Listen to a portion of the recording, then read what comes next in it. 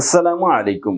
Hello viewers স্বাগত জানাচ্ছি Belal language স্কুলে আজকে আমরা স্পোকেন ইংলিশ এবং রিটেন ইংলিশের জন্য জানব কগনেট ভার্ব অর্থাৎ সমধাতু ক্রিয়াসমূহ, যেখানে একটি ভার্ব বা ক্রিয়া থেকে একটি অবজেক্ট বা কর্ম বের হয়ে আসে।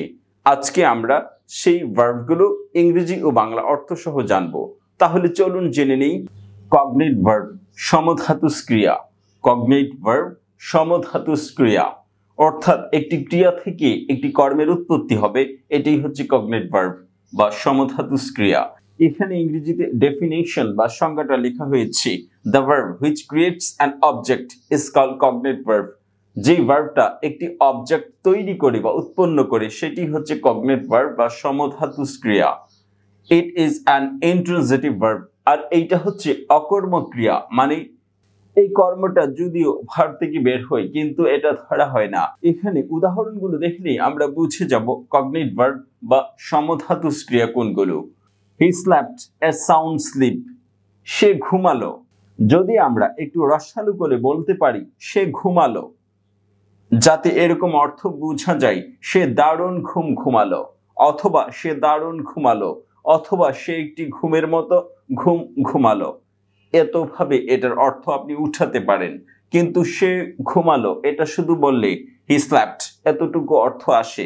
কিন্তু যদি আপনি একটু স্ট্রেস দিয়ে বা একটু রসালো করে বলতে পারেন, সে ঘুমালো, তাহলেই এটা হয়ে যাবে he slept a sound sleep তাহলে এই he slept a sound sleep এটা অনেকভাবে অর্থ উঠাতে পারেন he slept a sound sleep সে ঘুমালো, অথবা সে দারুণ ঘুমালো, অথবা সে একটি ঘুমের মতো ঘুম ঘুমালো। এতভাবে এই অর্থটা আসতে পারে আর এই স্ল্যাপড থেকে এ সাউন্ড স্লিপ বের হয়ে এসছে। এজন্য এটা একটি কগনেট অবজেক্ট। কগনেট ভার্ব থেকে কগনেট অবজেক্ট বের হয়। সমধাতুস ক্রিয়া থেকে সমধাতুস কর্ম বের হয়ে আসে। তারপরেটি দেখুন, হি ড্রামড এ গুড ড্রিম। সে একটি স্বপ্ন দেখল অথবা সে দারুণ স্বপ্ন দেখল। অথবা সে একটি স্বপ্নের মতো স্বপ্ন দেখল।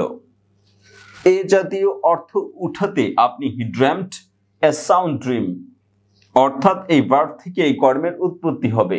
এটাই হচ্ছে কগনেট অবজেক্ট কগনেট ভার্ব থেকে কগনেট অবজেক্ট বের হয়ে আসে। তারপর এটি দেখুন হি ফট এ গুড ফাইট সে একটি যুদ্ধ করল অথবা সে লড়াই করল, অথবা সে যুদ্ধের মতো যুদ্ধ করল, অথবা সে লড়াইয়ের মতো লড়াই করল।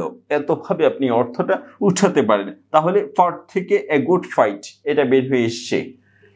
তারপরে দেখুন হি স্যাং এ সং সে একটি গানের মতো গান গাইলো, অথবা সে একটি গান গাইলো, অথবা সে দারুণ গান গাইলো। এতভাবে আপনি অর্থটা উঠাতে পারেন। এই স্যাং থেকে এ সং এই কগনেট অবজেক্ট বা কর্মটি বের হয়ে আসছে এই জন্য স্যাং হচ্ছে কগনেট ভার্ব এ সং হচ্ছে কগনেট অবজেক্ট বা কর্ম।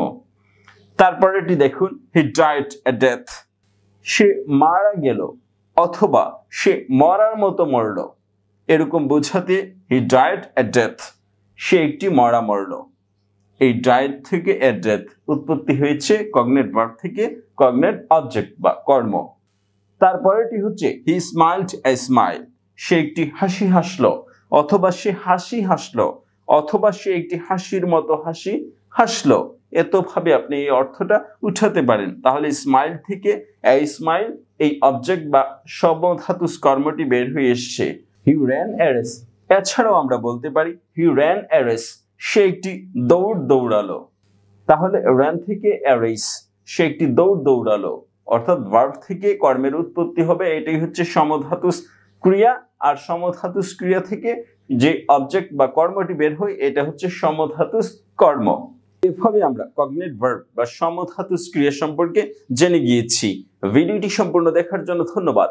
যদি আমার এই ভিডিওটি ভালো লাগে, তাহলে আমার এই চ্যানেলটি সাবস্ক্রাইব করে এই চ্যানেলের সঙ্গেই থাকবেন। ভালো থাকবেন। Bye bye